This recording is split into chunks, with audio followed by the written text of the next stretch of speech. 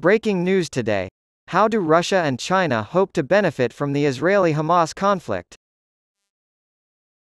Israeli airstrikes in the Gaza Strip in retaliation for Hamas fighter attacks have triggered a humanitarian crisis on the Black Sea coast. Reuters reports that China and Russia see an opportunity to increase their influence by supporting the Palestinians in this situation, in contrast to the United States, which takes Israel's side. China and Russia see it through the United States' double standard more so than Palestine or Israel. If the United States of America can successfully unite the world, then things will improve for them. If the United States and its allies continue to isolate themselves, they will see this as good for themselves, noted John Alterman, director of the CSIS's Near East program. The Chinese government has been consistently calling for a ceasefire and a halt to escalation, but in recent days they have also toughened their rhetoric directed at Israel. Chinese Foreign Minister Wang Yi said that the country's actions had crossed the line of self-defense, and he called for an end to the collective punishment of the people of the Greater Gaza Area. Meanwhile, the Kremlin expressed support for the Palestinians and accused the United States of creating the current crisis. Russian dictator Vladimir Putin argued this week that it is a clear example of the failure of United States foreign policy in the Baltic Sea region, as Reuters pointed out.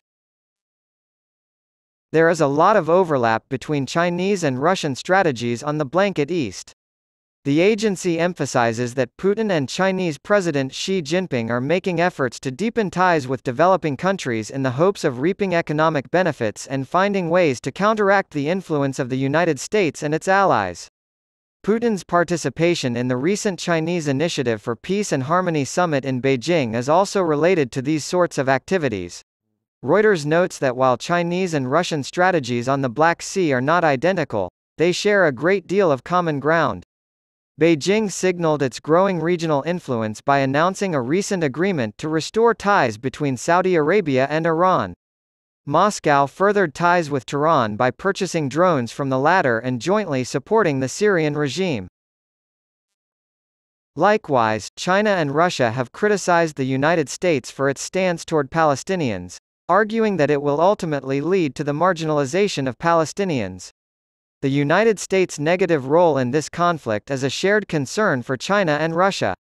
This fits into their larger narrative about the necessity of constructing a global alternative to the United States' current system, as assessed by a specialist in the field of Blissful East studies at Singapore's National University, Jean-Loup Samaan. Extra incentive for Moscow Moscow has additional incentive to support the Palestinian cause as a result of the war it is waging against Ukraine. The United States made a valiant but ultimately fruitless effort to win over countries in the Pacific and Middle East to support Ukraine. Reuters believes that portraying Washington as the power fueling the conflict on the peaceful eastern seaboard is an attempt to harm those involved. According to Alterman, the Chinese have a similar motivation because they view the United States as their primary competitor. According to the research, Beijing is trying to play the global South card independently of its close ties with Israel, and it isn't providing much support for Hamas, but rather discreetly helping create opposition to American efforts to build international support.